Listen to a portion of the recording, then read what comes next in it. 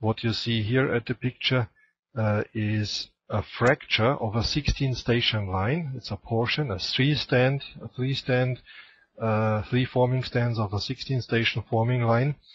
Um, and you see an intermediate uh, pass or uh, of uh, a result uh, of sheet metal which was formed on these 16 station lines.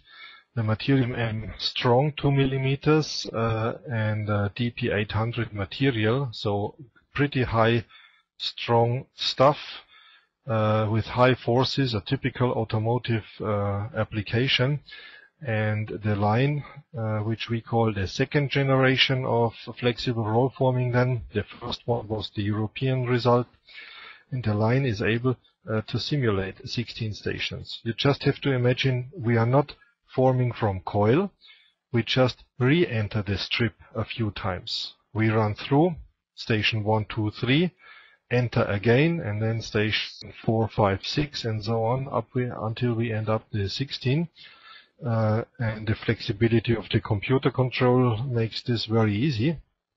And uh, this allows us uh, to run the whole uh, the whole 16 stations uh, through. You see video animation. It should start now. Okay, now it starts. I hope the transmission ratio uh, via internet is good enough to show you uh, how the whole line uh, works.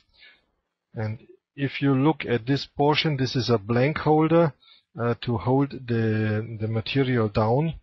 Uh, and it certainly gives a few scratches on the surface.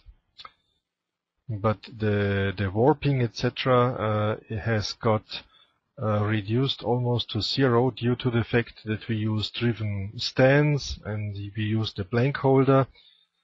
So in the end, we got uh, a, a, pretty good uh, um, result in material. Uh, the tolerances in terms of warping uh, were just still a bit too high than uh, well automotive manufacturers would like it. Um, but this hasn't been the big uh, uh, disappointment for us because we already knew about that.